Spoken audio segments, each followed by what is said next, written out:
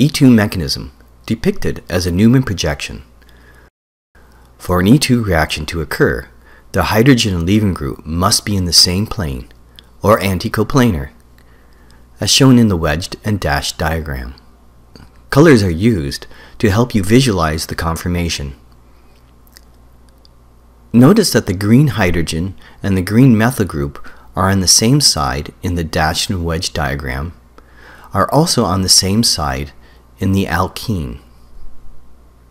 But now let's visualize the reaction mechanism as a Newman projection. In the Newman projection, we can see that the hydrogen bromine are in the same plane and are anti to each other, or anticoplanar. Mechanism is concerted and occurs in one step. As the base abstracts a proton, the electrons from the carbon-hydrogen sigma bond form a pi bond, and the electrons from the carbon-bromine sigma bond move onto the bromine atom, and the trans alkene is produced. Notice that the green hydrogen and the green methyl group are on the same side in the Newman projection, are also on the same side in the alkene.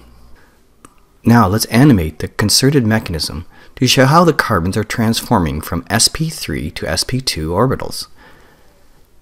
Base subtracts a proton, electrons from the carbon-hydrogen sigma bond form a pi bond, and the electrons from the carbon-bromine sigma bond move onto the bromine atom, and the alkene is produced.